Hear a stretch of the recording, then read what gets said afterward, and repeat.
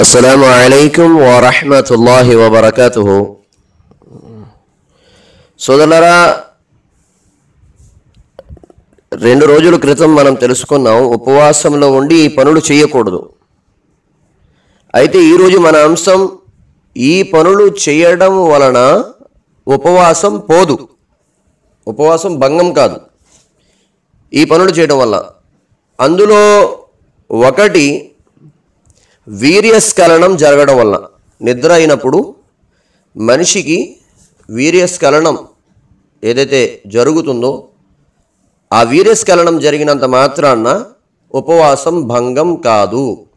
లేచి గుసులు చేసేస్తే సరిపోతుంది.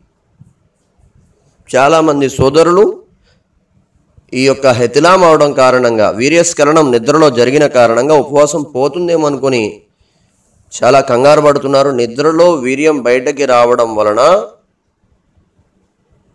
అంటే వీర్యస్కరణం జరగడం వల్ల ఉపవాసం పోదు. Point number one. రెండు మిస్వాక్ చేయడం వల్ల ఉపవాసం పోదు.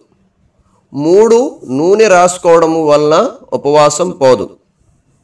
నాలుగు సుర్మా పెట్టుకోవడం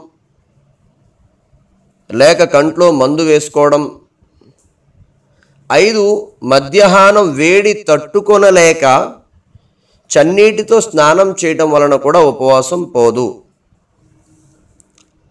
అలాగే అత్తరు రాసుకోవడం వలన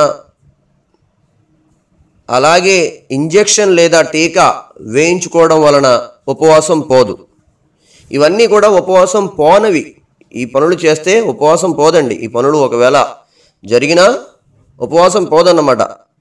మరిచిపోయి ఒకవేళ అన్నము అన్న పానీయాలు భుజించిన లేదా సేవించిన అంటే ఆహారం తింటున్నాం మర్చిపోయాం లేదా మంచిలు తాగేసాం మర్చిపోయాం నో ప్రాబ్లం.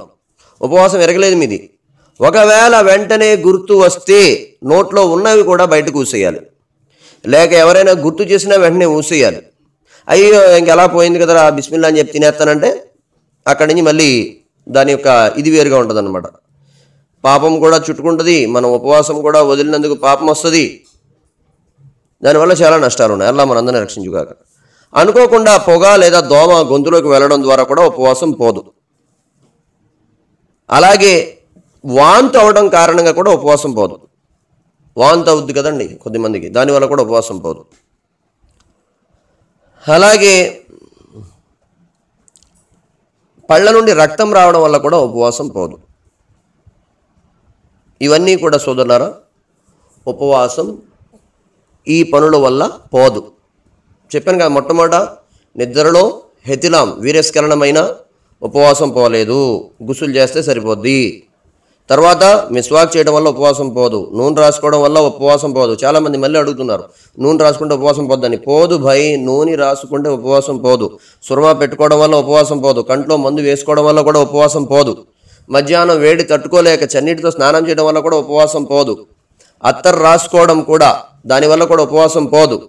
అలాగే మర్చిపోయి ఏమైనా తినేసాం లేదా త్రాగేసాం వెంటనే గుర్తొచ్చింది బయట కూసేసాం దానివల్ల కూడా ఉపవాసం పోలేదు. అనుకోకుండా పొగ లేదా దోమ గొంతులోకి వెళ్ళిపోయి దానివల్ల కూడా ఉపవాసం పోదు. అలాగే వాంతి అయిపోయింది దానివల్ల కూడా ఉపవాసం పోదు. అలాగే పంటి నుంచి రక్తం వచ్చింది దానివల్ల కూడా ఉపవాసం పోదు. అల్లా తబారకుతాల మీకు నాకు కూడా చెప్పి వినడం కంటే ఆచరించే భాగ్యం ప్రసాదించుగాక అస్సలం అయికం వరహమతుల్లాహి వబర్కాతూ